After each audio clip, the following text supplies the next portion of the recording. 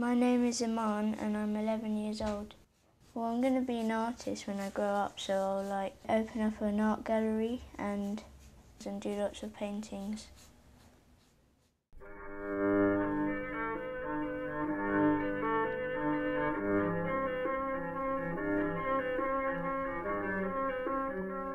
There's a few old shops up there that were dilapidated.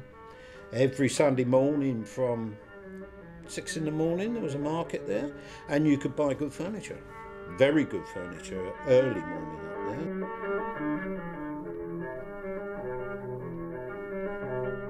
I bought a cabinet in there and somebody said they wouldn't give you a tenner for it and I cleaned it up and uh, he said, I've still got it. And he's he looked at it when I'd done it and he said, Well, I'll give you 100 quid for it. I said, Well, you're joking. And I'm going back in the 80s, you know.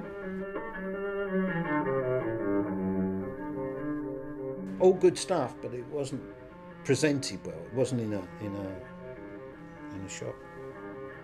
Yeah, lovely old place. There was a very famous shop down there actually. Um, it was only open Sunday mornings. You could go down there and get a new pair of glasses.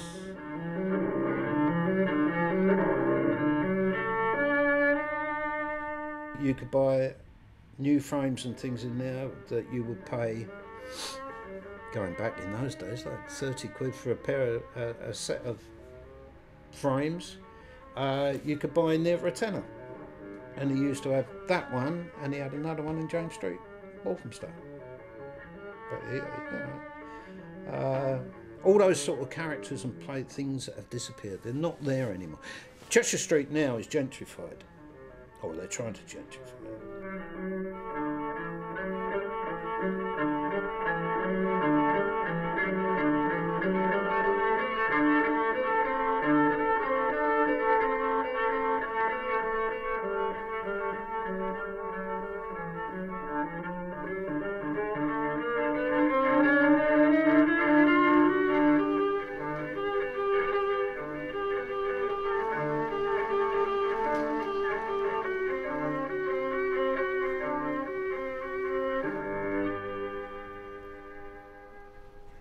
Um, I go to art club on Tuesday and um, we learn different things like painting and um, making things like sculpturing and um, we've done plastering.